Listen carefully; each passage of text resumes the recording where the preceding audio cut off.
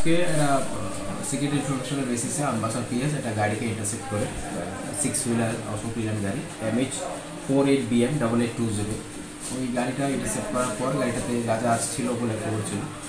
এই গাড়িটা সার্চ করার পরে টোয়েন্টি সেভেন প্যাকেট ক্যানারিজ আমরা রিকভার করতে পেরেছি approx two seventy five KG পর। গাড়িতে ড্রাইভার ছিলেন আজার খান, ওনাকে। আমরা একটা নির্দিষ্ট মামলা নিচ্ছি।